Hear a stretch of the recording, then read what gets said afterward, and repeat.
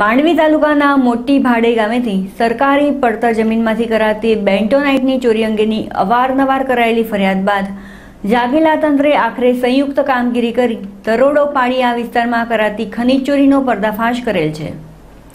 આ વિસ્તારમાં ઘણા લાંબા સમયથી સરકારી જમીનમાંથી કરોડોના સાધનો રોકી રાત દિવસ કિંમતી બેન્ટોનાઇટનું ખનન કરાતું હતું. જે અંગે જિલ્લા કલેક્ટરને કરાયેલ ફરિયાદ બાદ મામલતદાર અને ખાણ ખનીજ ખાતાએ સંયુક્ત દરોડો પાડ્યો હતો, જેમાં એક પોઈન્ટ તેત્રીસ કરોડના સાધનો ઝડપાયા હતા, જેમાં નવ ડમ્પર, બે હિટાચી અને એક લોડરનો સમાવેશ થાય છે. જોકે દરોડા દરમિયાન ખનીજ ચોરી કરતા શખ્સો નાસી ગયા હતા. આ અંગે ગઢસીસા પોલીસમાં ફરિયાદ નોંધાવાઈ છે, જેના આધારે પોલીસે તપાસ હાથ ધરી છે.